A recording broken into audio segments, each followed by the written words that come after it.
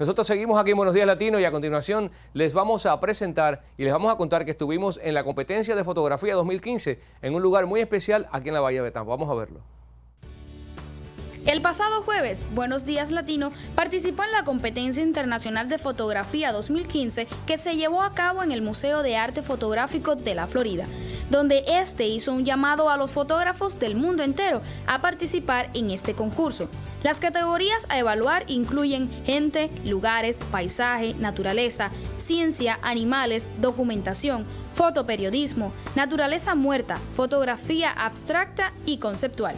La directora ejecutiva de esta competencia nos comentó por qué se celebra este evento. Esta competición tiene varios años de tradición en el Museo de Fotografía y Arte.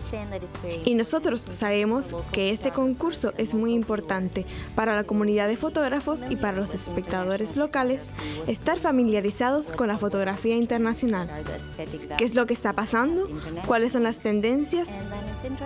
Incluso también es importante para la comunidad internacional de fotógrafos saber que hay una fuerte comunidad de fotógrafos aquí, en la bahía de Tampa.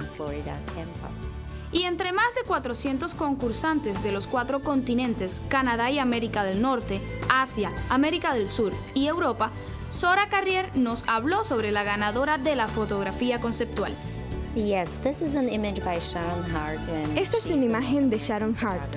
Ella es una fotógrafa norteamericana y ganó gracias a su excelente técnica y otras razones. Esta imagen fue presentada en la categoría de fotografía conceptual y está basada en una idea poderosa que inspira calma.